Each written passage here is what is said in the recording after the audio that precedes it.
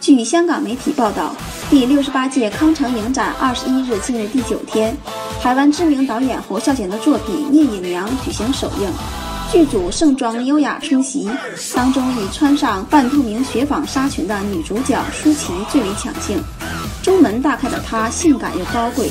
电影放映后即获得不少法国传媒的热捧，有杂志头版刊登了聂隐娘的剧照，标题写上。本报的金钟驴影片指出，聂隐娘的这个虚构故事里有种性感又动人的东西，让人希望故事永远不要结束。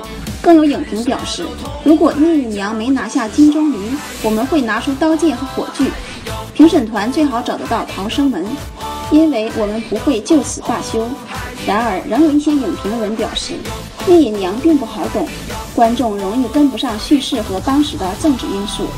据悉，当时场外有不少电影爱好者，在电影首映礼开始前就拿着自制的标语牌，上面写道：“拜托给我一张聂隐娘邀请函。”有外籍年轻电影工作者说，他还没看过侯孝贤的作品，但知道侯孝贤被誉为大师。虽然已在路边等了一个小时，但还是不打算放弃。另一名法国女孩表示。她看了一篇盛赞聂隐娘画面极具美感的评论，对这部电影非常好奇，所以来求票。爆点传媒整理报道。